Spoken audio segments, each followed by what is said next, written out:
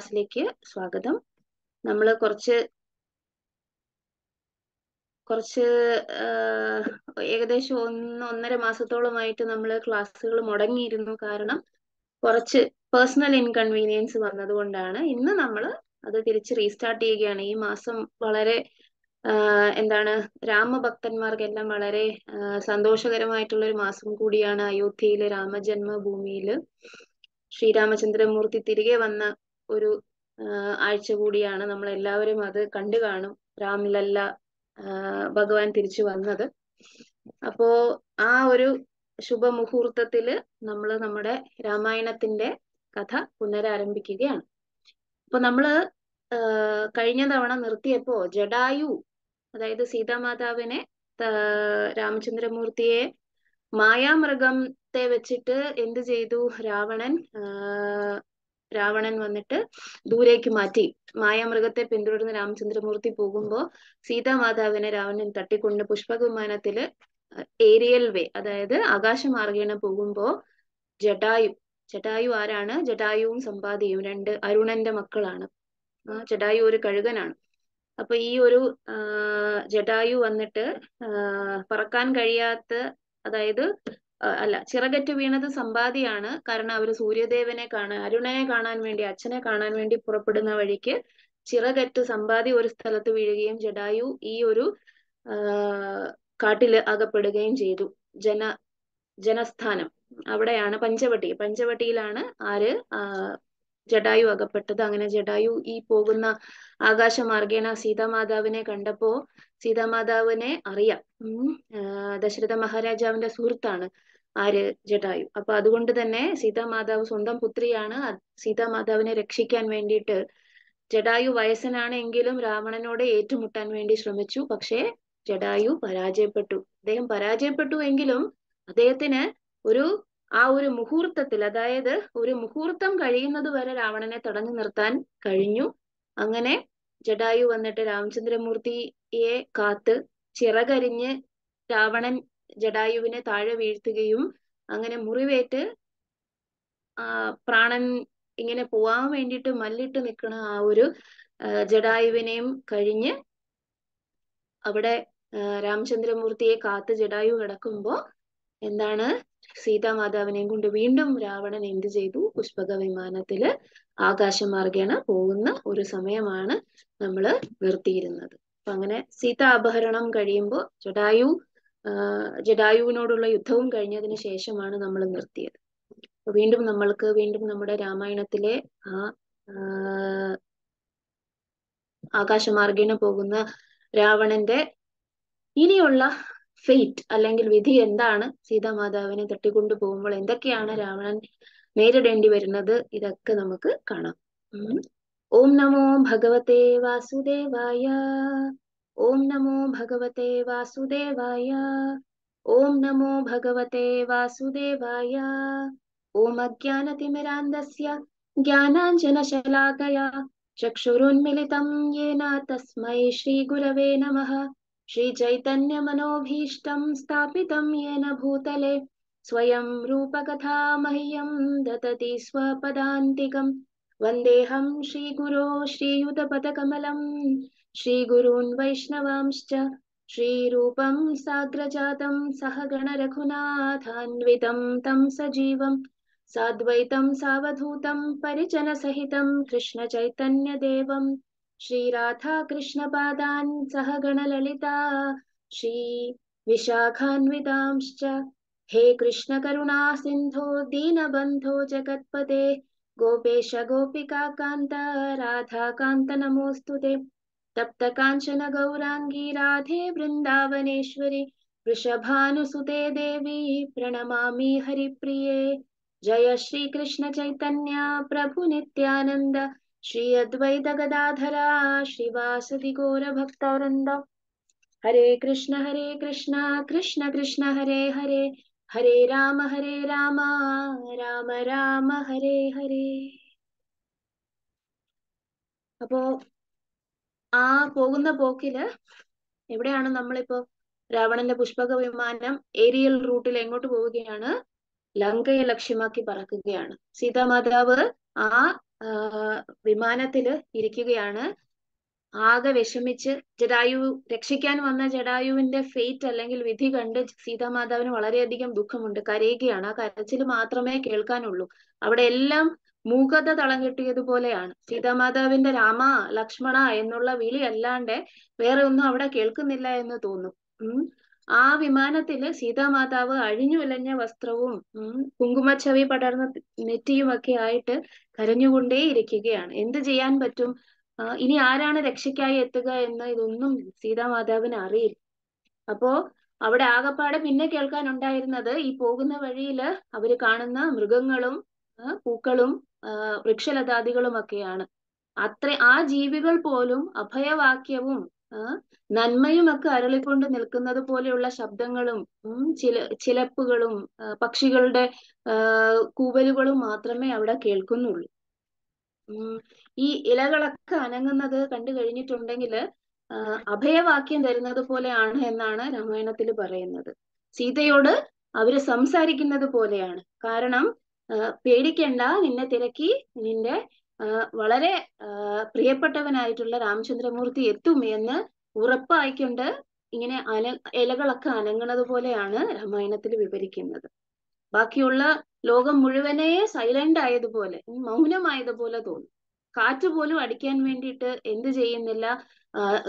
കാറ്റിന് പോലും വീശാൻ വേണ്ടിയിട്ട് ഇഷ്ടമില്ല. കാരണം എങ്ങാനും വീശി കഴിഞ്ഞിട്ടുണ്ടെങ്കിൽ ക്രൂരനായിട്ടുള്ള ഇത്രയും നരാധമനായിട്ടുള്ള ആ രാക്ഷസനായിട്ടുള്ള രാവണനെ തൊടേണ്ടി വരുമോ എന്ന് വിചാരിച്ച് കാറ്റുപോലും വീശാണ്ടായി എന്ന് പറയും.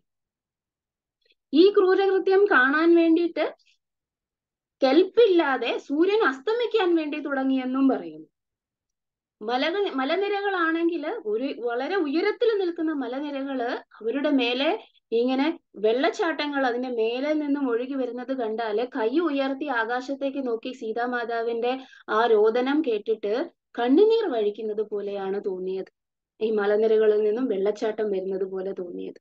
മൃഗങ്ങൾ പോലും കരഞ്ഞു. കാരണം എന്താണ്? ജടായുവിനെ പോലെ തങ്ങൾക്ക് രക്തസാക്ഷിത്വം വരിക്കാൻ വേണ്ടിയിട്ട് പോലും സാധിക്കുന്നില്ലല്ലോ എന്ന് വിചാരിച്ചിട്ടാണ് ആര് കരയുന്നത്? മൃഗങ്ങൾ കരയുന്നത്. അവർ സീതാമാതാവിന്റെ നിഴൽ കാണുന്നിടം വരെ എന്ത് ചെയ്യാൻ പോവുകയാണ്? പിന്തുടർന്ന് പോവുകയാണ്. പക്ഷെ അവർക്ക് ഒന്നും ചെയ്യാൻ പറ്റുന്നില്ല. അവർ ചിന്തിക്കുകയാണ് ഈ മനുഷ്യരുടെ കുലം എന്ന് പറയുന്നത് ഞങ്ങൾ മൃഗങ്ങളുടെ കുലത്തിനെക്കാട്ടിലും കൂടുതൽ അധമന്മാരായി പോയോ എന്ന് അവർ ചിന്തിക്കുകയാണ്. പക്ഷേ അങ്ങനെയുള്ള ക്രൂരമായിട്ടുള്ള കാര്യങ്ങൾക്കിടയിലും ഒരു കൂട്ടം മഹർഷിമാര് അല്ലെങ്കിൽ മുനിമാര് ശ്രദ്ധിച്ചു ശുഭകരങ്ങളായിട്ടുള്ള കാര്യങ്ങൾ. എന്താണ് ആ ശുഭകരങ്ങളായിട്ടുള്ള കാര്യങ്ങൾ? അത് കേട്ടപ്പോ കണ്ടപ്പോ അവർക്ക് സമാധാനമായി എന്ന് പറയുന്നു. കറുത്തിരുണ്ട ഒരു കാർമേഘം പോലെയാണ് ആ പുഷ്പക വിമാനത്തിൽ രാവണൻ കാണപ്പെട്ടത്. സീതാമാതാവ് തന്റെ ശരീരത്തിന്റെ തിളക്കം ഉം ശുഭ്രം സോറി ഒരു ഗോൾഡൻ കളറിലുള്ള ഗോൾഡൻ നിറമാണ് ആർക്ക് ഗൗരവർണമാണ് ആർക്ക് സീതാമാതാവിന് വളരെ മനോഹരമായിട്ടുള്ള തന്നെയല്ല ധരിച്ചിരിക്കുന്ന വസ്ത്രം എന്ന് പറയുന്നത് കുങ്കുമച്ചവയുള്ള വസ്ത്രമാണ്. നല്ല തിളങ്ങുന്ന ഉജ്ജ്വലമായിട്ടുള്ള ഗോൾഡൻ ആഭരണങ്ങൾ അനസൂയ കൊടുത്ത ഗോൾഡൻ ആഭരണങ്ങളൊക്കെ ശരീരത്തിൽ അണിഞ്ഞിട്ടുണ്ട്. അപ്പൊ സീതാമാതാവിനെ കണ്ടപ്പോ മിന്നൽ പിണർ പോലെ തോന്നിച്ചു. നമുക്കറിയാം കാർമേഘത്തിനിടയിൽ മിന്നൽ പിണർ എന്ന് പറയുന്നത് എപ്പോഴും ഒരേപോലെ ഇരിക്കില്ല. വന്നും പോയും വന്നും പോയും ഇരിക്കും. അപ്പൊ ഈ ഋഷിമാര് നോക്കുമ്പോ അവർ വിചാരിക്കുകയാണ് എത്ര ഇരുണ്ട കാർമേഘം പോലെയാണ് ആര്? രാവണനെങ്കിലും ഒരിക്കലും അവന് മിന്നലിനെ എന്ത് ചെയ്യാൻ പറ്റുകയില്ല മറയ്ക്കാൻ പറ്റുകയില്ല.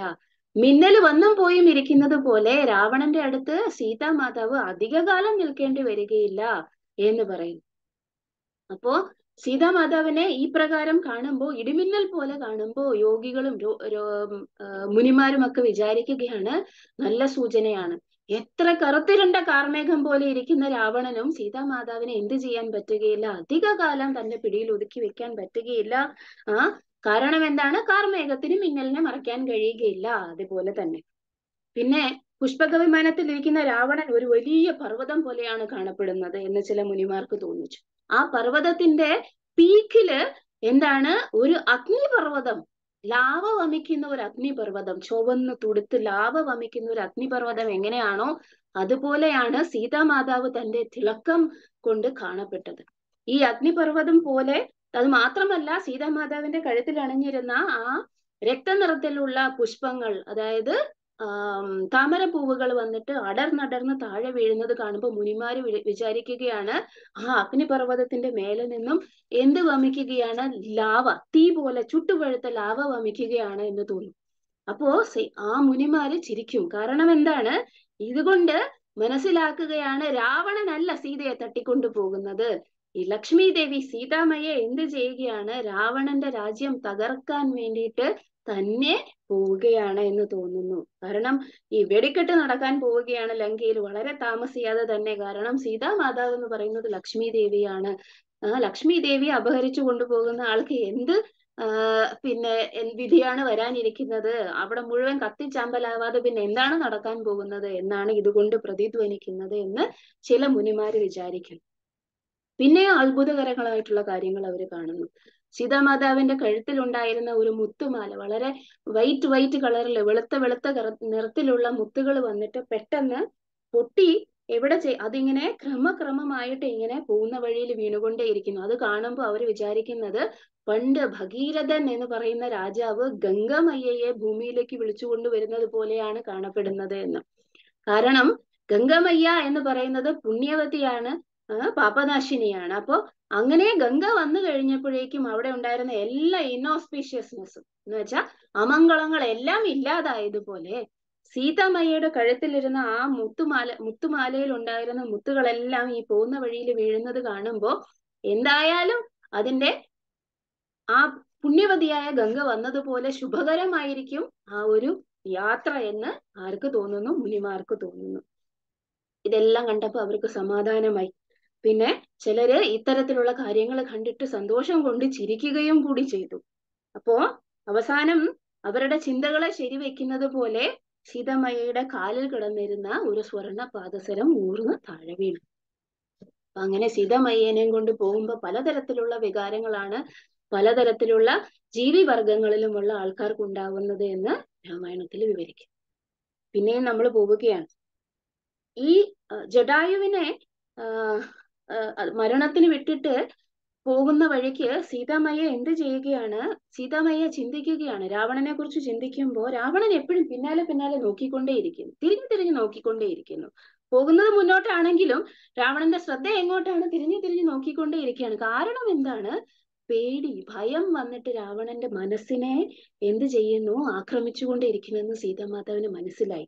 ആരെങ്കിലും വീണ്ടും പിന്തുടരുമോ? കാരണം ഒരു മുന്നറിയിപ്പുമില്ലാതെയാണ് പെട്ടെന്ന് ജഡായു എവിടെ വന്നത്? ആ ഏരിയൽ റൂട്ടിൽ ആരെങ്കിലും അതായത് ആകാശമാർഗത്തിൽ കൂടെ പോകുമ്പോൾ ആരെങ്കിലും ഉപദ്രവിക്കാൻ വരുമോ എന്ന് രാവണൻ ചിന്തിച്ചു പോലും കാണുകയില്ല. അതിനെ പോലെ അതുപോലെയാണ് ആര് വന്നത്? ജഡായു വന്നത്. അപ്പോ സീതമാതാവ് ചിന്തിക്കുകയാണ് രാവണന് ഭയമാണ്. കാരണം എന്താണ്? ഈ ഇനിയും പോകുന്ന മാർഗത്തിൽ ആരെങ്കിലും ഉപദ്രവിക്കാൻ വരുമോ ഇല്ലയോ എന്നുള്ള ഭയമാണ് ആർക്കുള്ളത്? സീതാമാത രാവണനുള്ളതെന്ന് സീതയ്ക്ക് മനസ്സിലായി. ഇപ്പോഴും ജഡായു ഏൽപ്പിച്ച ആ മുറിവുകൾ ആഴത്തിലുള്ള മുറിവുകൾ ബ്ലീഡ് ചെയ്തുകൊണ്ടേ ഇരിക്കുകയാണ് രാവണന്റെ ശരീരത്തിൽ അതുകൊണ്ടാണ് രാവണന് ഭയം.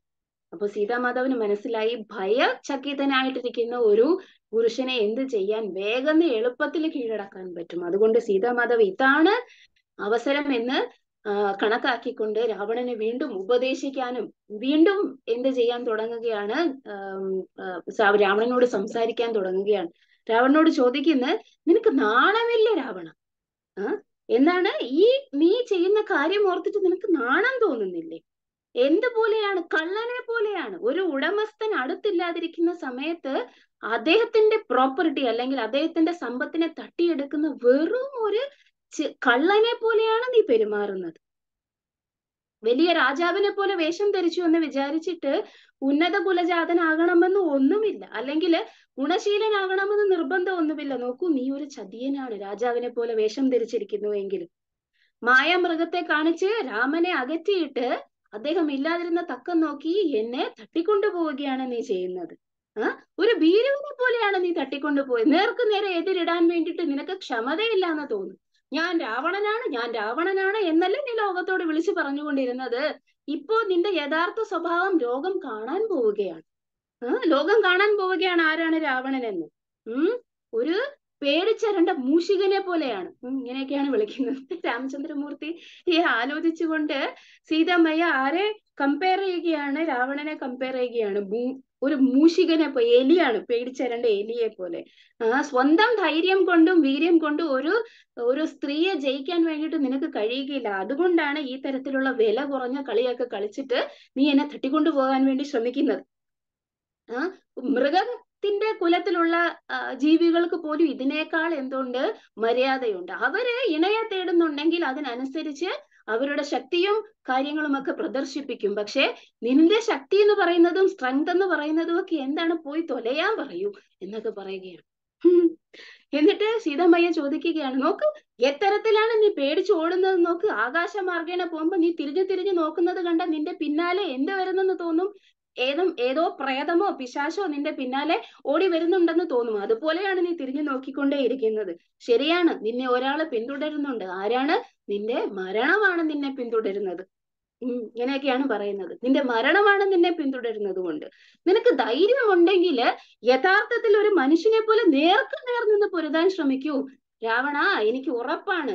ആ സഹോദരന്മാർ രാമലക്ഷ്മണന്മാരുടെ മുന്നിലെങ്ങാനും നീ പെട്ടുപോയി കഴിഞ്ഞിട്ടുണ്ടെങ്കിൽ നിന്റെ ഈ മുഴുവൻ ആർമി ആ ഈ സൈന്യം മുഴുവൻ വന്ന് നിന്റെ കൂടെ നിന്നാലും നിമിഷങ്ങൾ കണ്ടം അകം നിന്റെ കാര്യത്തിൽ ഒരു തീരുമാനമാകും. ഉം എന്ന് എനിക്കറിയാം. അതുകൊണ്ടാണ് നീ ഇത്തരത്തിൽ പേടിച്ചു ഓടുന്നത്. മരിക്കാൻ പോകുന്ന ഒരാൾക്ക് എല്ലാ തരത്തിലുമുള്ള കഴിക്കാൻ പറ്റാത്ത എല്ലാ തരത്തിലുമുള്ള ഭക്ഷണ സാധനങ്ങൾ ടേസ്റ്റ് ചെയ്യണമെന്ന് തോന്നും. അത് അയാളുടെ ഒരു നേച്ചറാണ് മരണത്തിന് വശംവദനായി പോകുന്ന ഒരാളുടെ നേച്ചറാണ് കാരണം അയാൾക്ക് ഇന്ദ്രിയങ്ങളെ പ്രീതിപ്പെടുത്താൻ വേണ്ടി അത്യധികം താല്പര്യമാണ്. അതുപോലെയാണ് നീയും. എന്താണ് നീ ചെയ്യാൻ പോകുന്നത്? നിനക്ക് വിഷമാണ് എന്നറിഞ്ഞിട്ടും നീ ഈ തരത്തിലുള്ള ഇന്ദ്രിയ സുഖ ആസ്വാദനത്തിന് വേണ്ടി ശ്രമിക്കുന്നത് നീ മരണാസന്നനായിരിക്കുന്നത് കൊണ്ടാണ്. യമരാജന്റെ കുലക്കയറ് നിന്റെ കഴുത്തിൽ മുറുകിയിരിക്കുന്നതായിട്ട് രാവണ ഞാൻ കാണുന്നു. നിന്നെ നിന്നെ കാത്തിരിക്കുന്നത് എന്താണെന്ന് അറിയാമോ? ആ നരകത്തിൽ കൂടി ഒഴുകുന്ന വൈതരണി എന്ന നദിയാണ് നിന്നെ കാത്തിരിക്കുന്നത്. ആ നദിയുടെ അടുത്ത് എന്തായാലും നിനക്ക് ഉടനെ തന്നെ പോകേണ്ടി വരും. അത് മാത്രമല്ല അതിന്റെ തീരത്ത് നിൽക്കുന്ന വൃക്ഷങ്ങൾ എന്ന് പറയുന്നത് അതിന്റെ ഇലകളെല്ലാം വന്നിട്ട് വാളുകൾ പോലെ ഷാർപ്പാണ്. ഉം മൂർച്ചയേറിയതാണ്. അതിന്റെ തടിയിലാണെങ്കിൽ നിറയെ നിറയെ നിറയെ മുള്ളുകളാണ്. നോക്കൂ അധികം താമസിയാതെ തന്നെ നിനക്ക് എന്ത് ചെയ്യേണ്ടി വരും? ആ മുള്ളുകളെല്ലാം ദേഹത്ത് തറഞ്ഞു കയറുന്നത് പോലെ ആ, മരത്തെ ആലിംഗനം ചെയ്യേണ്ടി വരും. ഇതൊക്കെ ഗരുഡ പുരാണത്തിൽ പറഞ്ഞിരിക്കുന്നത് അനുസരിച്ച് സീതാമയ്യ പറയുകയാണ് ഇത്തരം തെറ്റുകളാൽ രാവണൻ ചെയ്തുകൊണ്ടിരിക്കുന്നത് എന്ന്. നിന്റെ ഓരോരോ ശരീരത്തിലെ ഓരോരോ ഇഞ്ചിലും ആ തരത്തിലുള്ള മുള്ളുകൾ കയറി തറച്ച് അത്യധികം വേദന അനുഭവിക്കാൻ വേണ്ടി പോകുന്നു എന്ന് എനിക്ക് ഉറപ്പാണ് എന്ന് പറഞ്ഞു. കാലത്തെ നിനക്ക് എന്ത് ചെയ്യാൻ പറ്റുകയില്ല തടഞ്ഞു നിർത്താൻ പറ്റുകയില്ല. അത് നിന്നെ എന്തായാലും കീഴടക്കുക തന്നെ ചെയ്യും. ഉം? എവിടേക്കാണെങ്കിലും എന്നെ കൊണ്ടുപോയാലും രാമചന്ദ്രമൂർത്തി കാലമായിട്ട് നിന്റെ അഹങ്കാരത്തെ ശമിപ്പിച്ചിട്ട് നിന്റെ ലോകത്തെ തച്ചു തകർക്കാൻ വേണ്ടിയിട്ട് ഉടനടി എത്തുന്നതാണ്. ഇത്രയധികം കാര്യങ്ങൾ സീതമ്മയ്യ പറഞ്ഞിട്ടും ഇത്രയധികം വന്നിട്ട് അപമാനിച്ചിട്ടും രാവണൻ ഒരക്ഷരം മിണ്ടുന്നതേ ഇല്ല. കാരണം ശ്രദ്ധിക്കുന്നത് പോലും ഇല്ല രാവണൻ. ഒരു ഉപദേശത്തിനും തയ്യാറല്ല. ഒരു ഉപദേശം കേൾക്കാനോ അല്ലെങ്കിൽ നല്ല വാക്ക് കേൾക്കാനോ ഒന്നും രാവണൻ തയ്യാറല്ല. തന്റെ അന്ത്യത്തിലേക്കുള്ള യാത്രയെ ഒന്നുകൂടെ ഉറപ്പിച്ചു എന്ന മട്ടിലാണ് രാവണന്റെ പോക്ക്. അതുകൊണ്ട് ഇനി ഒന്നും പറഞ്ഞിട്ട് കാര്യമില്ല എന്ന തരത്തിൽ സീതമ്മയെ വീണ്ടും കരയാൻ തുടങ്ങി. അപ്പൊ അങ്ങനെ പോകുന്ന വഴിയിലാണ് അവരൊരു വളരെ അത്ഭുതകരമായിട്ടുള്ള പ്രദേശത്ത് എത്തുന്നത്. സീതമ്മയ്യ താഴേക്ക് നോക്കുമ്പോൾ വളരെ അത്ഭുതകരമായിട്ടുള്ള കാഴ്ച ദണ്ഡകാരണ്യത്തിലെ ഋഷിമാര് പറഞ്ഞിട്ടുണ്ട്. വാ നര. എന്നാണ് അതിന്റെ അർത്ഥം? ഒരു മാ ഒരു പ്രത്യേക തരത്തിലുള്ള അത്ഭുതകരമായിട്ടുള്ള കുരങ്ങുകളുടെ വർഗം ഇവിടെ താമസിക്കുന്നുണ്ട് കിഷ്കിന്തയിൽ താമസിക്കുന്നുണ്ട്. അപ്പൊ പോകുന്ന വഴിയിൽ സീതമയ്യ അവരെ കാണുകയാണ്. വാ നര. അവരുടെ സാമ്യം നരന്മാരോടാണ്. ഉം അതായത് മനുഷ്യരോടോ അത്രയധികം സാമ്യമുള്ളത് കൊണ്ട് അവർ മനുഷ്യരാണോ എന്ന് തോന്നും. അതുകൊണ്ടാണ് വാ നര എന്ന് അവർക്ക് പേരിട്ടിരിക്കുന്നത്. പക്ഷേ ഇത്തരത്തിലുള്ള ഒരു യാത്രയിലാണ് അവരോട് കണ്ടുമുട്ടാൻ ഇടയാവുന്നത് എന്ന് സീതാമയ്യ ഒരിക്കലും ആലോചിച്ചിരുന്നില്ല. ആ വാനരന്മാരെ കണ്ടപ്പോ സീതാമയ്യ രാവണനെ ശ്രദ്ധിച്ചു. രാവണൻ എന്ത് ചെയ്യുകയാണ്? മുന്നോട്ടുള്ള പോക്കിൽ എങ്ങോട്ടാണ് പോകേണ്ടത് എന്നുള്ള ഗതിയിൽ വന്നിട്ട് ശ്രദ്ധയോടെ ഇരിക്കുകയാണ്. ആ ഡിസ്ട്രാക്ഷൻ മുതലെടുത്തുകൊണ്ട് സീതാമയ്യ എന്ത് ചെയ്യാൻ പോവുകയാണ്? താൻ രക്ഷപ്പെടാനുള്ള ഒരു വഴി ആലോചിക്കുകയാണ്. സീതാമയ്യ എന്ത് ചെയ്തു? തന്റെ കാതിലുണ്ടായിരുന്ന കർണാഭരണങ്ങൾ മാലകളും ആ, തോൾവളകളും കൈവളകളും പാദസരവും എല്ലാം ഊരിയിട്ട് തന്റെ സാരിയുടെ അറ്റം ഒന്ന് ചെറുതായിട്ട് ശബ്ദം കേൾപ്പിക്കാതെ കീറിയെടുത്ത് അതിന്റെ അകത്ത് ഇതെല്ലാം കെട്ടിയിട്ട് നേരെ താഴോട്ട് എറിഞ്ഞു. അത് ചെന്ന് വീണത് ഒരു ഒരു കൂട്ടം വാനരന്മാർ ഒരുമിച്ചിരുന്ന് ചർച്ച ചെയ്തുകൊണ്ടിരിക്കുന്നതിന്റെ ഇടയിലേക്കാണ് ചെന്ന് വീണത്. പെട്ടെന്ന് സീതാമയ്യ നോക്കുമ്പോൾ അവർ മുകളിലേക്ക് നോക്കുന്നതും കണ്ടു. പരിചിത ഭാവം പോലെ അവർ നോക്കുന്നത് കണ്ടപ്പോ സീതാമയ്യക്ക് എന്തായി? സമാധാനമായി. ഒരു ആശ്വാസ നിശ്വാസം വന്നു. സീതാമയ്യക്ക് അവരെ അറിയില്ല. അവർക്ക് സീതമയെ അറിയാമോ എന്നും സീതമയ്യക്ക് അറിയില്ല. പക്ഷേ അവർക്ക് മനസ്സിലായി മുകളിലേക്ക് നോക്കിയപ്പോ എന്താണ്? ബലം പ്രയോഗിച്ചിട്ടാണ് ആരെ കൊണ്ടുപോകുന്നത്? ആ സ്ത്രീയെ കൊണ്ടുപോകുന്നത് എന്ന് ആർക്ക് മനസ്സിലായി വാനരന്മാർക്ക് മനസ്സിലായി. സീതമ്മയെ നോക്കുമ്പോ അവർ വളരെയധികം എന്താണ് ബലവാന്മാരാണ്. അവർക്ക് പറക്കാനുള്ള കഴിവുണ്ട്. അവർ വളരെയധികം അതിബലവാന്മാരാണ് എന്നൊക്കെ സീതമ്മയെ കേട്ടിട്ടുണ്ട്. പക്ഷെ ആരും വന്നിട്ട് എന്ത് ചെയ്യാൻ ശ്രമിക്കുന്നില്ല? രക്ഷപ്പെടുത്താൻ ശ്രമിക്കുന്നില്ല. കാരണം എന്താണെന്ന് സീതമ്മയ്ക്ക് അറിയില്ല. എന്തോ ഒരു കാര്യം അവരെ തടഞ്ഞു നിർത്തുന്ന പോലെ തോന്നി. ഉം. അപ്പോ സീതമ്മയ്ക്ക് മനസ്സിലായി. അതിൽ ആ താൻ എറിഞ്ഞു കൊടുത്ത ആ ആഭരണത്തിന്റെ കെട്ട് വന്ന് വീണത് എവിടെയാണ്? അതിൽ ഏറ്റവും കരുത്തനും ഏറ്റവും ഉയർന്നവനുമായിട്ടുള്ള ഒരുവന്റെ കയ്യിലാണ്. അയാളായിരിക്കണം ആ സംഘത്തിന്റെ നേതാവ് എന്ന് സീതമ്മയ്ക്ക് തോന്നി. അദ്ദേഹത്തിന്റെ കയ്യിലാണ് വന്ന് വീണത്. നേരെ മേളിലേക്ക് നോക്കിയിരിക്കുന്ന അദ്ദേഹത്തിന്റെ കണ്ണുകളിൽ എന്താണ് സീതമ്മയ്യ കാണുന്നത്? നിരാശയാണ് കാണുന്നത്. വിഷമവും നിരാശയും കൊണ്ട് ഒന്നും ചെയ്യാൻ പറ്റിയില്ലല്ലോ എന്നുള്ള വിഷമവും നിരാശയും കൊണ്ട് കയ്യിൽ കിട്ടിയിരിക്കുന്ന ആ നിധി അല്ലെങ്കിൽ ആ വന്ന് ആ തുണിക്കെട്ട് എന്ത് ചെയ്തിരിക്കുന്നു? അയാൾ കയ്യിൽ സൂക്ഷിച്ചു വെച്ചിരിക്കുന്നു. എന്നിട്ട് ഒരു നിർനിമേഷനായിട്ട് ആ പോകുന്നത് നോക്കിക്കൊണ്ട് നിൽക്കുകയാണ്. ഒന്നും ചെയ്യുന്നില്ല. എന്തുകൊണ്ടാണ് അവരെ സഹായിക്കാൻ വരാതിരുന്നത് എന്ന് സീതാമാതാവിന് തോന്നി. പക്ഷെ എങ്കിലും സീതാമാതാവിന് എന്താണ് അതിന്റെ കാരണമെന്ന് അറിയില്ലല്ലോ. അപ്പൊ അങ്ങനെ എതിലെ കൂടെയാണ് അവർ പോകുന്നത്. കിഷ്കിന്ധയുടെ മേലെ കൂടെയാണ് പോകുന്നത്. സീതമയ്യ ഇതുപോലെ ചെയ്യുമ്പോൾ രാവണന്റെ ചിന്ത എന്താണ്? രാവണൻ ജാഗരൂകനായി. എന്ത്? കിഷ്കിന്ധയുടെ മേലെ കൂടെയാണ് പോകുന്നത്. അതിന് പിന്നിൽ ഒരു കാരണമുണ്ട്. എന്താണ് രാവണന്റെ പ്രശ്നം? രാവണന്റെ സുഹൃത്ത് അവിടെയാണ് താമസിക്കുന്നത്. വാലി. രാവണന്റെ സുഹൃത്ത് എന്ന് പറഞ്ഞാൽ രാവണന് ഓർക്കാൻ പോലും ഇഷ്ടമില്ലാത്ത സുഹൃത്താണ്. ആ സുഹൃത്ത് ബന്ധം എന്ന് മനഃപൂർവം കിഷ്കിന്ധയുടെ മേലെ കൂടെ പോകരുത്. ഒരിക്കൽ പോ ഒരിക്കൽ മാത്രമേ സുഹൃത്തുമായിട്ട് കണ്ടിട്ടുള്ളൂ. അത് അവസാനത്തെ കാഴ്ചയായിരുന്നു. ഇനിയും അതിലെ കൂടെ പോവുകയേ ഇല്ല എന്ന് തീരുമാനിച്ചിരിക്കുന്ന സമയത്താണ് എന്താണ് ഇതിലെ കൂടെ പോകേണ്ടി വരുന്നത്. ഹൃദയത്തിന്റെ അകത്ത് അത്ര വെറുപ്പാണ് ആ സുഹൃത്തിന്റെ അടുത്ത്. പിന്നെ എന്തുകൊണ്ടാണ് സുഹൃത്ത് എന്ന് പറയുന്നത് എന്ന് നമുക്ക് സംശയം തോന്നാം. അതിലൊരു കാരണമുണ്ട്. വളരെ വേദനാജനകമായിട്ടുള്ള കാര്യങ്ങൾ മാത്രമേ ആ സുഹൃത്തിൽ നിന്ന് കിട്ടിയിട്ടുള്ളൂ. ആർക്ക്? രാവണൻ ആര്? വാലിയിൽ നിന്നും കിട്ടിയിട്ടുള്ളൂ. നാണക്കേട് ഉണ്ടാക്കുന്ന ഒരു അവസരത്തിലാണ് ആ സുഹൃത് ബന്ധം ഉണ്ടായത് തന്നെ. അതുകൊണ്ടാണ് രാവണനെ ഇത്ര മടി അതിലെ കൂടെ പറക്കാൻ വേണ്ടിയിട്ട്. അപ്പൊ രാവണൻ എന്ത് ചെയ്യുന്നു? താഴെ നോക്കുകയാണ് കിഷ്കിന്തയിൽ ഇങ്ങനെ പോകുന്ന വഴിയിൽ താഴേക്ക് നോക്കിക്കൊണ്ടിരിക്കുകയാണ് തന്റെ സുഹൃത്ത് താമസിക്കുന്ന കിഷ്കിന്ത അപ്പൊ പോ സീതമാധവ് എന്തൊക്കെയോ പറയുന്നുണ്ട്. പക്ഷെ രാവണൻ ഒന്നും കേൾക്കുന്നുമില്ല. രാവണന്റെ ചിന്ത മുഴുവൻ എവിടെയാണ്? ആ ഭൂതകാലത്തിലാണ്. ഏത് അവസരത്തിലാണ് എന്തുണ്ടായിരിക്കുന്നത്? ആ നാണക്കേട് ഉണ്ടായിരിക്കുന്ന ആ സുഹൃത് ബന്ധം ഉണ്ടായിരിക്കുന്നതെന്ന് ആലോചിച്ചിട്ട് എന്ത് ചെയ്യുകയാണ്? രാവണൻ ചിന്തിച്ചുകൊണ്ടേയിരിക്കുകയാണ്. എന്താണ് കാരണം എന്നറിയാമോ രാവണൻ എന്ത് ചെയ്തു? ഒരിക്കൽ ഇന്ദ്രനെ ജയിച്ചിട്ട് ഇന്ദ്രജിത്തും രാവണനും കൂടെ അതായത് മേഘനാഥൻ എന്ന തന്റെ പുത്രനും വളരെ വിഖ്യാതനായിട്ടുള്ള പുത്രനാണ് രാമൻ രാവണനുള്ളത് മേഘനാഥൻ. അപ്പം ഇവർ രണ്ടുപേരും വന്നിട്ട് എന്ത് ചെയ്തു? ഒരിക്കൽ ദേവന്മാരെ വരെ ജയിച്ചു. ഇന്ദ്രനെ ജയിച്ചത് കൊണ്ട് മേഘനാഥന് ഇന്ദ്രജിത്ത് എന്ന പേരും ഉണ്ടായി അങ്ങനെ വളരെ അഭിമാനകരമായിട്ടുള്ള നിമിഷത്തിലാണ് ലങ്കയിലൊക്കെ ഭയങ്കര ആഘോഷമാണ്. എല്ലായിടത്തുനിന്നും ആൾക്കാരെ ക്ഷണിച്ചിട്ടുണ്ട്. ഇന്ദ്രനാണ് ക്ഷണിച്ചിരിക്കുന്നത്. സ്നേഹം കൊണ്ട് ക്ഷണിച്ചതല്ല. ഞങ്ങളോട് കൊമ്പ് കോർക്കാൻ വേണ്ടിയിട്ട് ഇനി ആരും ശ്രമിക്കരുത്. കാരണം ഞങ്ങൾ ദേവന്മാരെ പോലും ജയിച്ചവരാണ് എന്ന് പുങ്ക് കാണിക്കാൻ വേണ്ടിയിട്ടാണ് എന്ത് ചെയ്യുന്നത്? ഈ തരത്തിലുള്ള സെലിബ്രേഷൻസ് ആഘോഷങ്ങളൊക്കെ ചെയ്യുന്നത്. അപ്പൊ അങ്ങനെ അങ്ങനെ ആ ഒരു ഭയങ്കര അച്ഛൻ എന്ന് പറയുന്ന അതായത് രാവണന്റെ മകനാണ് ആര്? ഇന്ദ്രജിത്ത്. അപ്പൊ അച്ഛൻ എന്ന് പറയുന്ന വളരെ ആ ഒരു സാറ്റിസ്ഫാക്ഷൻ ആ സംതൃപ്തിയും അഹങ്കാരവും ഒക്കെ ചേർന്ന് നിൽക്കുന്ന സമയ സമയത്തിലാണ് അവിടെ ആര് വരുന്നത്? ഒരാൾ വരുന്നത് നാരദ മഹർഷി. അപ്പൊ നാരദ മഹർഷി വന്നിട്ട് രാവണനെ വിളിച്ച് മാറ്റി നിർത്തി ഒരു കാര്യം പറഞ്ഞു. അത് കേട്ടപ്പോഴത്തേക്ക് ഉടനെ തന്നെ സേനയെയും കൊണ്ട് പോയാലോ എന്ന് ചിന്തിച്ചു. അതായിരുന്നു നല്ലത്. പോകേണ്ടിയിരുന്നു. അതായിരുന്നു നല്ലതെന്ന് ഇപ്പൊ രാവണൻ തോന്നുന്നു. പക്ഷെ പോയില്ല. കാരണം നാരദ മഹർഷി പറഞ്ഞ കാര്യം വന്നിട്ട് എന്താണ് വളരെ രഹസ്യമായിട്ട് മാറ്റി നിർത്തിയാണ് പറഞ്ഞത്. തന്റെ ലങ്കയുടെ ഇങ്ങനെ സേനയും കൊണ്ട് പോയി കഴിഞ്ഞിട്ടുണ്ടെങ്കിൽ ലങ്കയ്ക്ക് അപമാനമാകും. അതുകൊണ്ടാണ് സേനയും കൊണ്ട് പോകണ്ട എന്ന് ആര് പറഞ്ഞിരിക്കുന്നത്? രാവണനോട് നാരദ മഹർഷി പറഞ്ഞിരിക്കുന്നത്. അപ്പൊ നാരദ മഹർഷി പറഞ്ഞു പോയതിനു ശേഷം പിറ്റേ ദിവസം രാവിലെ രാവണൻ എഴുന്നേറ്റ് ആ സൂര്യൻ ഉദിക്കുന്നതിന് മുമ്പേ നാരദ മഹർഷിയുടെ വാക്ക് വന്നിട്ട് നാരദന്റെ രാവണന്റെ ചെവിയിൽ കേൾക്കുകയാണ്. എന്താണ് പറഞ്ഞത് പറഞ്ഞിട്ട് പോയതെന്ന് അറിയാമോ രാവണനോട് രാവണ നീ ഈ തരത്തിലുള്ള സെലസ്റ്റിയൽസ് അതായത് സ്വർഗത്തിൽ താമസിക്കുന്ന ആൾക്കാരെ ഇന്ദ്രനെ ഒക്കെ വരെ എന്ത് ചെയ്തിരിക്കുന്നു പരാജയപ്പെടുത്തിയിരിക്കുന്നു എന്നൊക്കെ വന്നിട്ട് നിനക്ക് എന്തുണ്ടായിരിക്കാം? അഭിമാനം ഉണ്ടായിരിക്കാം പക്ഷേ ഇവിടെ കിഷ്കിന്ത എന്ന് പറയുന്ന സ്ഥലത്ത് ഒരു വാനരരാജനുണ്ട്. വാലി എന്നാണ് അവന്റെ പേര്. ഉം അവനെ ഒരിക്കലും ആർക്കും ജയിക്കാൻ കഴിയുകയില്ല. ഞാൻ കേട്ടു വാലി എന്താണ് പറയുന്നതെന്ന് അറിയാമോ ആ നീ രാവണൻ എന്ന് പറയുന്നത് ആൽമരത്തിന്റെ കുരു പോലെയാണ്.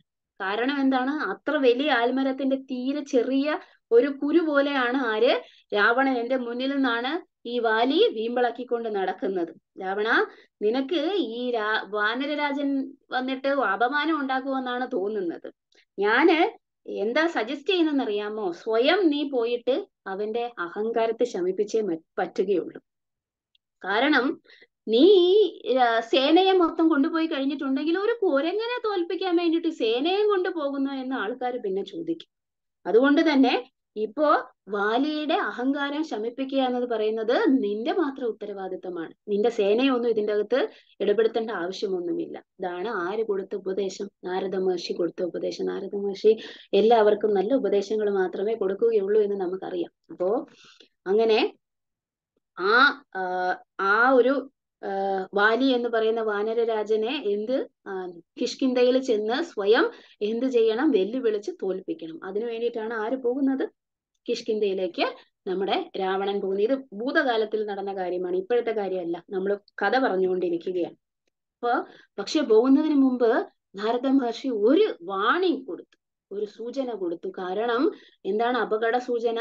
നേർക്ക് നേർ ചെന്ന് വാലിയോട് യുദ്ധം ചെയ്യാൻ പാടില്ല രാവണ. കാരണം വാലിയുടെ അച്ഛൻ എന്ന് പറയുന്നത് ഇന്ദ്രനാണ്. ഇന്ദ്രന്റെ അനുഗ്രഹം കൊണ്ട് വാലിക്ക് ഒരു വരം കിട്ടിയിട്ടുണ്ട്. എന്താണ്? ആരെങ്കിലും വാലിയുടെ മുന്നിൽ നിന്ന് നേർക്കുനേർ യുദ്ധം ചെയ്ത് കഴിഞ്ഞിട്ടുണ്ടെങ്കിൽ വാലിക്ക് ആ എതിരാളിയുടെ പകുതി ശക്തി വന്നു ചേരും എന്ന്. അപ്പൊ അതുകൊണ്ട് ഈ കാര്യം മാത്രം നീ ഒന്ന് ചിന്തിച്ചാ മതി ആലോചിച്ചാ മതി. അതിന് തക്കതായിട്ട് നീ ചെന്നിട്ട് എന്തെങ്കിലും പദ്ധതികൾ ഉണ്ടാക്കണം എന്ന് പറഞ്ഞാണ് നാരദ മഹർഷി വിട്ടിരിക്കുന്നത്. അപ്പൊ കിഷ്കിന്തയിൽ ചെന്നപ്പോഴേക്കും ദേഷ്യം കൊണ്ട് തല ചൂടായിട്ടാണ് രാവണൻ അങ്ങോട്ട് ചെല്ലുന്നത്. അപ്പൊ അവിടെ ചെന്ന് കഴിഞ്ഞിട്ട് ഈ കുരങ്ങനെ പിടിച്ച് തല ഇടിച്ച് തകർക്കണം എന്നാണ് ആരുടെ ചിന്ത? രാവണന്റെ ചിന്ത. ഉം. അപ്പൊ രാവണൻ എന്തു ചെയ്തു? ആ പുഷ്പകവിമാനത്തിൽ നിന്ന് ചാടി ഇറങ്ങി കിഷ്കിന്തയിലെ കൊട്ടാരത്തിന്റെ ഫ്രണ്ടിൽ പോയി നിന്നിട്ട് വാതുക്കൽ പോയി നിന്നിട്ട് ദ്വന്ദ്വ യുദ്ധത്തിന് മല്ലി വിളിക്കാൻ മല്ലയുദ്ധത്തിന് എന്ത് ചെയ്യാൻ തുടങ്ങി? ചലഞ്ച് ചെയ്യാൻ തുടങ്ങി. വെല്ലുവിളിക്കാൻ തുടങ്ങി. ഉം. വാലിയെ. കുറേ നേരം അവിടെ നിന്ന് വെല്ലുവിളിച്ചിട്ടും ആരും വന്നിട്ട് തിരിഞ്ഞു നോക്കണ പോലും ഇല്ല. ആ, ഒരാൾ പോലും ഇത്ര അധികം ഉച്ചത്തിൽ വാലിയെ വന്നിട്ട് അവിടെ എന്ത് ചെയ്യുന്നു? ഒരാൾ വന്ന് വെല്ലുവിളിച്ചുകൊണ്ടിരിക്കുന്നു. പക്ഷെ ഒറ്റ മനുഷ്യരും തിരിഞ്ഞു നോക്കുന്നില്ല. രാവണൻ ആകപ്പാടെ എന്ത് ചെയ്യുകയാണ്? ആ അന്താളിച്ച് നിൽക്കുകയാണ് രാവണൻ. അപ്പോഴാണ് ഒരാൾ അതിന്റെ ചു ആ പാലസിന്റെ പുറത്തേക്ക് വരുന്നത്. ഒരു ഒരു ഒരു ഒറ്റ ആളെ വരുന്നുള്ളൂ. ഇത്രയും വലിയ അധികായനായിട്ടുള്ള ഒരുത്തൻ വന്ന് നിന്ന് വാലിയെ വെല്ലുവിളിച്ചുകൊണ്ടിരുന്നപ്പോ അറ്റ്ലീസ്റ്റ് ഒരു കുറച്ച് പടയോടുകൂടിയെങ്കിലും വരണ്ടേ. അതാണ് രാവണൻ പ്രതീക്ഷിച്ചിരുന്നത്. പക്ഷെ എന്ത് ചെയ്യുന്ന ആകെ ഒരാൾ മാത്രം പുറത്തു വന്നു. എന്നിട്ട് അയാൾ പറഞ്ഞു ഞാൻ സുഗ്രീവനാണ്. വാലിയുടെ അനുജൻ. നിനക്ക് മരണത്തെ കാത്തു നിൽക്കണം എന്നുണ്ടെങ്കിൽ ഇവിടെ കാത്തു നിൽക്കാം എന്റെ ജ്യേഷ്ഠൻ എവിടെ പോയിരിക്കുകയാണ്? ഗായത്രി ജപിക്കാൻ വേണ്ടി. രാവിലെ ഗായത്രി ജപിക്കാൻ വേണ്ടിയിട്ട് ദക്ഷിണ സമുദ്രത്തിന്റെ തീരത്ത് പോയിരിക്കുകയാണ്. നിനക്ക് മരണത്തെ കാത്തു നിൽക്കണം എന്നുണ്ടെങ്കിൽ ഇവിടെ വെയിറ്റ് ചെയ്യാം. ഉം. പക്ഷേ ഉടനെ തന്നെ മരിക്കണം എന്ന ആഗ്രഹം ഉണ്ടെങ്കിൽ നേരെ വിമാനം കയറി ദക്ഷിണ സമുദ്രത്തിന്റെ അവിടെ പോയാൽ മതി. അവിടെ കാണും വാലിയെന്ന് ഇത് കേട്ടതും ഇത്ര അപമാനം സഹിക്കേണ്ടി വരുമെന്ന് ആരതൊന്നും തോന്നും ചിന്തിച്ചില്ല. രാവണൻ ചിന്തിച്ചില്ല. അപ്പൊ രാവണൻ എന്ത് ചെയ്തു? നേരെ ചാടിക്കേറി പുഷ്പക വിമാനം എടുത്തിട്ട് എന്ത് ചെയ്യുന്നു? നേരെ ദക്ഷിണ ദിക്കിലേക്ക് പോവുകയാണ്. ദക്ഷിണ സമുദ്രത്തിൽ. അവിടെ ചെന്ന് നോക്കുമ്പോഴത്തേനും പത്മാസനത്തിൽ ഇരുന്നിട്ട് ഒരു വളരെ അതികായനായിട്ടുള്ള ഒരു കുരങ്ങൻ വാനരൻ ഇരിക്കുന്നു. കണ്ടപ്പോഴേക്കും തന്നെ ആർക്ക് മനസ്സിലായി? ആ തന്റെ ഒപ്പോണന്റിന്റെ ശക്തി ആർക്ക് മനസ്സിലായി? രാവണന് മനസ്സിലായി. അത്ര ഭീമാകാരനായിട്ടുള്ള ഒരു കുരങ്ങനെ ആദ്യമായിട്ടാണ് ആര് കാണുന്നത്? രാവണൻ കാണുന്നത്. അപ്പൊ രാവണൻ ചെന്ന് നോക്കുമ്പോൾ വളരെ ഇറക്റ്റ് പോസ്റ്ററിൽ ഇരുന്നിട്ട് പത്മാസനത്തിലൊക്കെ ഇരുന്നിട്ട് വാലി ഇങ്ങനെ ദക്ഷിണ സമുദ്രത്തിലേക്ക് നോക്കി കണ്ണു അടച്ച് എന്ത് ചെയ്യുകൊണ്ട് ചെയ്യുകയാണ്? ഗായത്രി ജപിക്കുകയാണ്. രാവണൻ നോക്കുമ്പോ നാരദമുനി പറഞ്ഞു മുന്നിൽ പോയി നിന്ന് കഴിഞ്ഞിട്ടുണ്ടെങ്കിൽ എന്താവും? ആ പകുതി ശക്തി പോയി കിട്ടും. അപ്പൊ അതുകൊണ്ട് കൗശലത്തിൽ എന്ത് ചെയ്യണം? രാവണൻ നോക്കുമ്പോ നീണ്ട ഒരു വാൽ അങ്ങനെ കിടക്കുന്നു. ഈ കുരങ്ങന്റെ വാലാണ്. അപ്പൊ രാവണന് മനസ്സിലായി ഇത് കാരണമാണ് ഇവന് വാലി എന്ന പേര് വന്നത്. ഇത്ര നീണ്ട വാലാണ്. അതുകൊണ്ട് ഈ വാലി എന്ന പേര് ഇതുകൊണ്ട് തന്നെ ആയിരിക്കണം വന്നിരിക്കുന്നത് എന്ന് വിചാരിച്ചിട്ട് എന്താണ് ചെയ്യാൻ പോകുന്നത്? എന്ത് പദ്ധതിയാണെന്ന് അറിയാമോ? ആ വാലിൽ പിടിച്ചിട്ട് പെട്ടെന്ന് ചുഴറ്റി കറക്കുക. അങ്ങനെ ആ സെൻട്രിഫ്യൂഗൽ ഫോഴ്സിൽ കൊരങ്ങന്റെ ജീവൻ പോയി കഴിയുമ്പോൾ താഴെ ഇടുക. ആ ഫോഴ്സിൽ ആരാണ് പിടിച്ചേക്കണമെന്ന് പോലും അറിയില്ല. പിന്നെ അല്ലേ നേർക്ക് നേർ നോക്കി അമ്പത് ശതമാനം ശക്തി എടുക്കുന്ന പരിപാടിയൊക്കെ നടക്കുകയുള്ളൂ അപ്പൊ രാവണൻ വിചാരിച്ച് ഇത് വളരെ എളുപ്പത്തിൽ നടക്കും എന്ന് വിചാരിച്ചിട്ട് ഓടിപ്പോയി ആരും അറിയാതെ ചെന്ന് കുരങ്ങന്റെ വാലിൽ പിടുത്തമിട്ടത് മാത്രം അറിയാം. അതിനുശേഷം രാവണനെ പോലും അത്ഭുതപ്പെടുത്തിക്കൊണ്ട് വാൽ രാവ വാലിയുടെ വാൽ വളർന്ന് രാവണന്റെ കയ്യിലും ചുറ്റി രാവണന്റെ ശരീരത്തിലും ചുറ്റി മുറുക്കി വരിഞ്ഞു വെച്ചിരിക്കുകയാണ്. തല മാത്രമേ രാവണന്റെ പുറത്ത് കാണുന്നുള്ളൂ. അപ്പൊ രാവണന് മനസ്സിലായി ഉം കണ്ണുപോലും തുറക്കുന്നില്ല ആര് വാലി. അതിനിടയ്ക്കാണ് ഈ കാര്യങ്ങളൊക്കെ സംഭവിക്കുന്നത്. വാലിയുടെ വാലിയുടെ വാലിന്റെ ഇടയിലാണ് ഇപ്പൊ രാവണൻ വന്നിട്ട് നിൽക്കുന്നത് ഭയങ്കര നാണക്കേട്. കഴുത്ത് മാത്രമേ പുറത്ത് കാണാൻ പറ്റുന്നുള്ളൂ. വാലി കണ്ണു പോലും തുറന്നിട്ടില്ല. രാവണനാണെങ്കിൽ തന്റെ ശക്തിയെല്ലാം ഉപയോഗിച്ച് ഷോൾഡറും കൊണ്ട് ആ വരിഞ്ഞു മുറുക്കിയിരിക്കുന്ന കോയിൽസ് ഒക്കെ വിടാൻ വേണ്ടിയിട്ട് ശ്രമിച്ചു എങ്കിലും ഈ എല്ലുകളൊക്കെ നുറങ്ങുന്ന ആരൊക്കെയോ ഇടിച്ച് ചതച്ചതുപോലെ വേദന എടുക്കുന്നത് മാത്രം രാവണൻ അറിയാം. വേറെ ഒന്നും എന്ത് സംഭവിക്കുന്നില്ല. പക്ഷേ അപ്പോഴാണ് കുറച്ച് നിമിഷങ്ങൾക്ക് ശേഷം ശേഷം വാലി എണീറ്റ് നിന്ന് ഓ കണ്ണൊക്കെ തുറന്ന് വാലി എണീറ്റ് നിന്ന്. അപ്പൊ വാലി ഭയങ്കര ബിസി ആയിരുന്നു. കാരണം എന്താണ്? രാവണൻ ഇങ്ങനെ കേ താണു വീണ് അപേക്ഷിച്ച് എന്നെ ഇതിൽ നിന്ന് മോചിപ്പിക്കണം മോചിപ്പിക്കണം എന്ന് അപ്പൊ വാലി പറഞ്ഞ് വാലി ഒന്നും പറഞ്ഞില്ല. അതിന് മുന്നേ എവിടോട്ട് ചാടി ആകാശത്തിലേക്ക് ഉയർന്ന് ചാടിയിട്ട് ഈ പോകുന്ന പോക്കിൽ വാലിൽ രാവണനെയും തൂക്കിക്കൊണ്ടാണ് പോകുന്നത്. രാവണനാണെങ്കിൽ കൺ കൈ കൊണ്ട് മുഖം മറയ്ക്കാൻ വേണ്ടി ശ്രമിച്ചു പക്ഷെ പറ്റണില്ല കാരണം എന്താണ്? കൈ ആ കോയിലിനകത്ത് മുഖം മാത്രമേ വെളിയിലുള്ളൂ. പോകുന്ന വഴിക്ക് ഈ കാണുന്ന മൃഗങ്ങളും പക്ഷികളും ആകാശത്തിൽ കൂടി സഞ്ചരിക്കുന്ന ആകാശചാരികളായിട്ടുള്ള ജീവികളൊക്കെ രാവണനെ കളിയാക്കിക്കൊണ്ടിരിക്കുകയാണ്. അത്രയ്ക്ക് നാണക്കേട് രാവണന് ജീവിതത്തിൽ ഒരിക്കലും അനുഭവിക്കേണ്ടി വന്നിട്ടില്ല. കാരണം എല്ലാവരും കളിയാക്കിക്കൊണ്ടിരിക്കുകയാണ്. ആ അവരുടെ കണ്ണ് പൊത്താൻ വേണ്ടിയിട്ട് അവരുടെ വായ അടപ്പിക്കാൻ വേണ്ടി പറ്റിയില്ല. അതുകൊണ്ട് രാവണൻ സ്വന്തം കണ്ണ് അടച്ചു വെച്ചു. കാരണം ആരെയും കാണാനുള്ള അല്ലെങ്കിൽ അവർ പറയുന്ന വാക്കുകളും ഒന്നും കേൾക്കാനുള്ള ഒരു ക്ഷമത രാവണൻ ഇല്ലാത്തത് കാരണം കണ്ണെല്ലാം അടച്ചു വെച്ചിട്ട് ഇറുക്കി അടച്ചിട്ട് പിന്നെ വാൽ ചെന്ന് ലാൻഡ് ചെയ്തത് എവിടെയാണെന്ന് അറിയാമോ?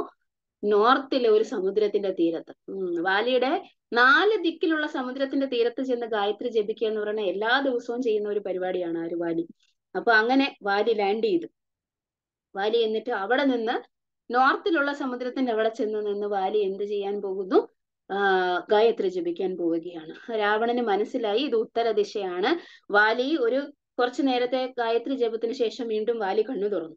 അപ്പോഴേക്കും രാവണൻ വീണ്ടും പ്ലീസ് എന്നെ വിടണം. എന്നെ വിടണം. ക്ഷമിക്കണം. എന്നോട് വിടണം എന്നൊക്കെ പറഞ്ഞ് പറഞ്ഞുവെങ്കിലും പക്ഷേ വാലിക്ക് വാലി പറഞ്ഞു സമയമില്ല. ഇനി രണ്ട് സമുദ്രം കൂടി കടക്കണം. അതായത് ദക്ഷിണ ദിക്കിലും ഉത്തര ദിക്കിലും കഴിഞ്ഞിട്ട് ഇനി ഈസ്റ്റും വെസ്റ്റും കഴിഞ്ഞിട്ട് നോർത്തും സൗത്തും ചെയ്യണം അപ്പൊ ഇനി ഈസ്റ്റും വെസ്റ്റും ബാക്കിയുണ്ട്. അപ്പൊ അവിടെ അപ്പൊ രാവണൻ പറഞ്ഞു പ്ലീസ് എന്നെ ഈ വാലിൽ ഇങ്ങനെ തൂക്കിയിട്ടുകൊണ്ട് പോവരുത്.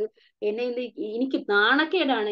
ഞാനൊരു രാജാവാണ് ലങ്കാധിപതിയാണ്. എന്നെ ഇങ്ങനെ തൂക്കിയിട്ടുകൊണ്ട് പോകുന്നത് വളരെ അധികം അപമാനം ഉണ്ടാക്കുന്ന കാര്യമാണ്. അതുകൊണ്ട് പ്ലീസ് അങ്ങനെ ചെയ്യരുതെന്ന് പറഞ്ഞപ്പോ വാലി എന്ത് ചെയ്ത് രാവണനെ കക്ഷത്തിലാക്കിക്കൊണ്ടാണ് അടുത്ത പറക്കം അങ്ങനെ രണ്ട് സ്ഥലത്ത് പറന്ന അവസാനം വാലി തന്റെ ഗായത്രി എല്ലാം ജപിച്ച് പൂർത്തിയാക്കിയതിനു ശേഷം ഇത്രയും നാണക്കേട് സഹിച്ചിട്ട് രാവണനോട് അവസാനം വാലി ചോദിച്ച് എന്താ കാര്യം? എന്തിനാ വന്നത്? എന്ന് ചോദിച്ചു. അപ്പൊ അവസാനം ഇനി എന്തെങ്കിലും ചെയ് പറഞ്ഞു കഴിഞ്ഞിട്ടുണ്ടെങ്കിൽ കാര്യത്തിന് ഒരു തീരുമാനമാകൂ എന്ന് മനസ്സിലാക്കി രാവണൻ ചിരിച്ചുകൊണ്ട് പറഞ്ഞു അങ്ങയുടെ സൗഹൃദമാണ് എനിക്ക് വേണ്ടത് എന്ന് പറഞ്ഞു. ഇളിച്ചുകൊണ്ട് പറഞ്ഞു. അപ്പൊ വാലി പറഞ്ഞു ശരി. സമ്മതിച്ചു. അങ്ങനെയാണെങ്കിൽ നമുക്കൊരു യജ്ഞം ചെയ്തിട്ട് ഈ സൗഹൃദ ബന്ധം അങ്ങ് ഉറപ്പിക്കാം. അപ്പൊ രണ്ടുപേരും വാലി അതായത് വാലി പറഞ്ഞ് ഈ സൗഹൃദത്തിന് വേണ്ടിയാണ് വന്നത് എന്ന് പറഞ്ഞത് കാര്യമായി. ഇല്ലെങ്കിൽ ഞാൻ എന്നോട് യുദ്ധം ചെയ്യാൻ വേണ്ടിയിട്ടാണ് നീ വന്നത് എന്നെങ്ങാനും മനസ്സിലാക്കുമായിരുന്നെങ്കിൽ നിന്നെ ഞാൻ എന്റെ മോന് കളിക്കാൻ കൊടുത്തേനെ പാവയായിട്ട് എന്ന് പറഞ്ഞു. അപ്പോഴേക്കും രാവണന് മനസ്സിലായി എന്താണ് വാലിയുടെ വാലിയുടെ വാലർ എന്താണെന്ന് രാവണന് മനസ്സിലായി. അപ്പൊ വാലി പറഞ്ഞു ശരി നമുക്ക് എന്ത് ചെയ്യാം? ഒരു കൂടുതൽ ഉപദ്രവത്തിൽ നിന്ന് രക്ഷപ്പെടാൻ വേണ്ടിയിട്ട് രാവണൻ ചിരിച്ചുകൊണ്ട് എല്ലാ കാര്യങ്ങളും സമ്മതിച്ചു. വലിയൊരു യജ്ഞ യജ്ഞത്തിന്റെ ആ അഗ്നി വന്നിട്ട് അവിടെ ജ്വലിപ്പിച്ചു. അവിടെ വന്നിട്ട് രണ്ടുപേരും വന്നിട്ട് എന്ത് പ്രതിജ്ഞ എടുത്തു? എന്താണ് ഫ്രണ്ട്ഷിപ്പിന്റെ പ്രതിജ്ഞ? എന്ത് പ്രതിജ്ഞയാണ് എടുത്തത്? നമ്മളുടെ സൗഹൃദം എന്ന് പറയുന്നത് എന്നന്നത്തേക്കും നിലനിൽക്കുന്നതായിരിക്കും. എനിക്കുള്ളതെല്ലാം നിന്റേതായിരിക്കും നിനക്കുള്ളതെല്ലാം എന്റേതായിരിക്കും. നിന്റെ രാജ്യം എന്റേതായിരിക്കും എന്റെ രാജ്യം നിന്റേതുമായിരിക്കും. എന്റെ സമ്പത്ത് നിന്റേതുമായിരിക്കും നിന്റെ സമ്പത്ത് എന്റേതുമായിരിക്കും. എന്റെ പത്നി നിന്റേതുമായിരിക്കും നിന്റെ പത്നി എന്റേതുമായിരിക്കും. ഇങ്ങനെയൊക്കെയാണ് അവർ പ്രതിജ്ഞ ചെയ്തത്. രണ്ടുപേരും കയ്യിൽ നിന്ന് ചോരയൊക്കെ മുറിച്ച് പിന്നെ യജ്ഞത്തിലകത്ത് ഇട്ട് അങ്ങനെ പ്രതിജ്ഞയൊക്കെ സീൽ ചെയ്തു. അവിടെ നിന്ന് രാവണൻ പറന്നതാണ്. സൗഹൃദം കിട്ടി. പക്ഷെ നാണം കെട്ട് രാവണൻ പറഞ്ഞതാണ്. പിന്നെ ഒരിക്കലും ആ സുഹൃത്തിനെ കാണാൻ രാവണൻ പോയിട്ടേ ഇല്ല ആ സുഹൃത്തിനെ കുറിച്ച് ചിന്തിക്കുന്നത് പോലും രാവണന് അലർജി ആയിരുന്നു. അപ്പൊ അങ്ങനെ കിഷ്കിന്ധയുടെ മേലെ കൂടെ പോകുമ്പോ ഇതാണ് ആര് ചിന്തിക്കുന്നത്? ആ രാവണൻ ചിന്തിക്കുന്നത്. അങ്ങനെ രാവണന്റെ വാലിയുമായിട്ടുള്ള ബന്ധം ഈ മങ്കീസ് അതായത് അവിടെ നിന്നിരുന്ന ആ അതികായന്മാരായിട്ടുള്ള ആ, വാനരന്മാരെ എന്തുകൊണ്ടാണ് രാമചന്ദ്രൻ സീതാമയ്യനെ രാവണൻ തട്ടിക്കൊണ്ടു പോകുന്നത് കണ്ടിട്ടും മിണ്ടാതെ ഇരുന്നത് എന്ന് നിങ്ങൾക്കറിയാമോ? കാരണമുണ്ട്. എന്താണ്? ഈ മങ്കീസ് അതായത് രാവണനെ ഇവർക്ക് പരിചയമുണ്ട്. ആ രാവണൻ സീതാമയ്യനെ തട്ടിക്കൊണ്ട് പല സ്ത്രീകളെയും ഈ പ്രകാരം ആകാശത്തിൽ ആൾക്കാർ തട്ടിക്കൊണ്ടു പോകുന്നതൊക്കെ ഇവർ കാണുന്നുണ്ട്. പക്ഷേ ഈ പെർട്ടിക്കുലർ സ്ത്രീ അതായത് ഈ പറഞ്ഞിരിക്കുന്ന സ്ത്രീ ഈ പോകുന്ന സ്ത്രീ എന്ന് പറയുന്നത് അങ്ങനെ സാധാരണ സ്ത്രീ അല്ല. അവരെ കണ്ടാൽ തന്നെ ആരാധ്യയായിട്ടുള്ള ഏതോ ഒരു ദേവിയാണെന്ന് തോന്നും എന്നവർക്ക് മനസ്സിലായി. ഉം. അവർക്ക് രാവണൻ വാലിയുടെ സുഹൃത്താണ് എന്ന് അറിയാം. അതാ അതുകൊണ്ട് മാത്രമാണ് എന്ത് ചെയ്യാതിരുന്നത്? രാവണനെ തടയാൻ വേണ്ടിയിട്ട് അവർ ശ്രമിക്കാതിരുന്നത്. വാലിയോടുള്ള ആദരവ് കൊണ്ടൊന്നുമല്ല വാലിയെ പേടിച്ചിട്ടാണ്. ഉം വാലിയെ പേടിച്ചിട്ടാണ് ആരിവര് തടയാ തടയാതിരുന്നത്? വാലിയുടെ സുഹൃത്തായ രാവണനെ തടയാതിരുന്നത്. അപ്പൊ അങ്ങനെ അവിടെ ആ കൂട്ടത്തിലുണ്ടായിരുന്ന വാനരന്മാരുടെ പ്രമുഖന്മാരായിട്ടുള്ള ആൾക്കാരുടെ കൂട്ടത്തിൽ നിന്നായിരുന്ന ഒരാൾ വളരെ അത്ഭുതകരമായിട്ടുള്ള ഒരു പ്രതിഭാസം കണ്ടു. എന്താണ്? ഈ എയർപ്ലെയിനിൽ കൂടെ പോകുമ്പോൾ ആ ലേഡി ആ പോകുന്ന ആ സ്ത്രീ വന്നിട്ട് കരഞ്ഞുകൊണ്ടേ ഇരിക്കുകയാണ് കരഞ്ഞ് അവർ വിയർത്ത് അവരുടെ കണ്ണുനീർ തുള്ളിയും വിയർപ്പ് തുള്ളിയും വന്നിട്ട് മുത്തുപോലെ താഴെ വീഴുന്നു. അപ്പൊ ആ വീഴുന്നത് കാരണം ഈ വീഴുന്ന ഡ്രോപ്ലെറ്റ്സ് വന്നിട്ട് ഭൂമിയിലേക്ക് ഇറങ്ങി പോകുന്നതും അവരതിനെ ശ്രദ്ധിച്ചു നോക്കുമ്പോൾ അത് സാധാരണ ഒരു സ്ത്രീയുടെ കരച്ചിലോ അല്ലെങ്കിൽ കണ്ണുനീർ തുള്ളിയോ വിയർപ്പ് തുള്ളിയോ പോലെ ആണെന്ന് അവർക്ക് മനസ്സിലാ അവർക്ക് തോന്നുന്നില്ല. അത് വളരെ മുത്തുപോലെ തിളങ്ങുന്ന വളരെ പരിശുദ്ധമായ എന്തോ ഒന്ന് ഭൂമിയിൽ വീഴുന്നത് പോലെയാണ് അവർക്ക് തോന്നിയത്. അപ്പൊ അവർ ക്ലോസ്ലി അതായത് അടുത്ത് ചെന്ന് സൂക്ഷിച്ചു നോക്കുമ്പോ അതൊരു സാധാരണ സ്ത്രീയാണെന്ന് അവർക്ക് തോന്നുന്നില്ല. കാരണം അത്രയധികം ഈ എന്തോ ഒരു പ്രത്യേകമായിട്ടുള്ള ഒരു ബന്ധമാണ് ആ സ്ത്രീയും തങ്ങളും തമ്മിൽ ഉണ്ടാവാൻ പോകുന്നത്. എപ്പോഴാണോ തങ്ങളുടെ കയ്യിൽ ആ ഒരു പൊതി അല്ലെങ്കിൽ ആ ഒരു മറ്റേ ആഭരണ അടങ്ങിയ ആ ഒരു തുണി കിഴി വന്ന് വീണത് ആ ദിവസം മുതൽ തങ്ങളും ആ സ്ത്രീയും തമ്മിലുള്ള ഒരു അഭേദ്യമായിട്ടുള്ള ബന്ധം വന്നിട്ട് വീണ്ടും വന്നിട്ട് ഉണ്ടാവാൻ പോവുകയാണ് എന്ന് അവർക്ക് തോന്നി. അപ്പോ അവരുടെ ജീവ ജീവിതവും ഈ സ്ത്രീയുടെ ജീവിതം തമ്മിൽ ഇനിയും എന്ത് ചെയ്യാൻ പോവുകയാണ് കണ്ടുമുട്ടേണ്ടി വരും എന്നൊക്കെ അവർക്ക് തോന്നുകയാണ്. അവർക്ക് വീണ്ടും ഒരു കാര്യമുണ്ടായി. മറ്റു മുനിമാർക്ക് തോന്നിയതുപോലെ രാവണന്റെ അവസാനത്തെ തട്ടിക്കൊണ്ടു പോകലാണ് ഇത്. രാവണന്റെ ദിവസങ്ങൾ എണ്ണപ്പെട്ട് കഴിഞ്ഞിരിക്കുന്നു എന്ന് അവർക്കൊരു മുൻവിധി അല്ലെങ്കിൽ ഒരു തോന്നലുണ്ടായി. അപ്പോ അവർ പോയി നോക്കി. ആ വേർപ്പ് മണികളും കണ്ണുനീരിൽ നിന്ന് വീഴുന്ന മുത്തുമണികളും ഒക്കെ എവിടെയാണ് വീണിരിക്കുന്നതെന്ന് അവർ പോയി നോക്കുമ്പോൾ വളരെ അത്ഭുതം. അത് ഭൂമിയിലേക്ക് ഇറങ്ങുന്നു. ഭൂമിയിലേക്ക് ഇറങ്ങി കഴിഞ്ഞതിന് ശേഷം കുറച്ചു ദിവസം അവർ കഴിഞ്ഞു പോയി നോക്കുമ്പോൾ അവിടെ എല്ലാം ഒരു വളരെ പ്രത്യേക തരത്തിലുള്ള ഒരു ചെടി വളർന്നു വരുന്നതായിട്ട് കാണും. അത് വീണ്ടും കുറച്ചു നാൾ കഴിഞ്ഞപ്പോഴത്തേനും അതിൽ പൂക്കളും കായ്കളും ഒക്കെ ഉണ്ടായി. അതിലുണ്ടാകുന്ന പഴം എന്ന് പറയുന്നത് സാധാരണ ഇതുവരെ കണ്ടിട്ടില്ലാത്ത തരത്തിലുള്ള ഒരു പഴമാണ്. ആ പഴം അവർ പൊളിച്ച് തുറന്നു നോക്കുമ്പോൾ എന്താണ് അതിന്റെ അകത്ത് വളരെ അത്ഭുതകരമായിട്ട് കറുത്ത കറുത്ത നിറത്തിലുള്ള കണ്ണുനീർ തുള്ളികൾ പോലെയുള്ള അതിന് ചുറ്റിനും വെളുത്ത ഒരു വെളുത്ത ഒരു കവചം മാംസളമായിട്ടുള്ള കവചം അതിന്റെ അകത്ത് കണ്ണുനീർ തുള്ളി പോലെ കറുത്ത നിറത്തിലുള്ള ഒരു വിത്ത്. അനേകം വിത്തുകൾ ഒരു ഫ്രൂട്ടിനകത്ത് ഒരു പഴത്തിന്റെ അകത്ത്. ഇതിനെയാണ് നമ്മൾ എന്ത് പറയുന്നത്? ആ സീതാഫൽ എന്ന് പറഞ്ഞ് പിന്നീട് അറിയപ്പെട്ടത്. ഉം. അപ്പോ അന്ന് അവർ ഒരു തീരുമാനമെടുത്തു. സ്വാഭാവികമായിട്ടും എന്ത്? ഇനി ഈ പഴത്തിനെ നമ്മൾ അതായത് കുരങ്ങന്മാര് കഴിക്കുകയില്ല എന്നവർ തീരുമാനമെടുത്തു. കാരണം ഇതൊരു സ്പെഷ്യൽ ഫ്രൂട്ട് ആണ്. അതുകൊണ്ട് ഇതിനെ എന്ത് ചെയ്യുകയില്ല സ്വാഭാവികമായിട്ടും കുരങ്ങന്മാര് കഴിക്കുകയില്ല എന്ന് തീരുമാനമെടുത്തു. അത് ഇപ്പോഴും അങ്ങനെ തന്നെയാണോ എന്ന് നമുക്കറിയില്ല. പക്ഷെ എന്നാലും രാമായണത്തിൽ ആസീതപ്പഴം സീതപ്പഴം എന്ന് പറയുന്ന നമ്മൾക്ക് വളരെ പരിചിതമായിട്ടുള്ള കാരണം അതിന്റെ ഡിസ്ക്രിപ്ഷനിൽ നിന്ന് നമുക്ക് മനസ്സിലാവും. കണ്ണുനീർ തുള്ളി പോലെയുള്ള ആ ഒരു പഴത്തിന്റെ ഡിസ്ക്രിപ്ഷൻ ആണ് ഇവിടെ പറയുന്നത്. അങ്ങനെ ആ മങ്കീസ് എന്ത് ചെയ്യുകയാണ്? സീതാമാതാവ് പോകുമ്പോൾ ഈ കാര്യങ്ങളെല്ലാം ചിന്തിച്ചുകൊണ്ടേയിരിക്കുകയാണ്. ഇനി രാവണൻ എവിടേക്കാണ് സീതാമാതാവിനെയും കൊണ്ടുപോകുന്നത്? എന്താണ് പോകുന്ന വഴിയിൽ സംഭവിക്കുന്നത്? ഇതെല്ലാം നമുക്ക് ഇനിയുള്ള ആഴ്ചകളിൽ കാണാം. ഹരേ കൃഷ്ണ. Thank you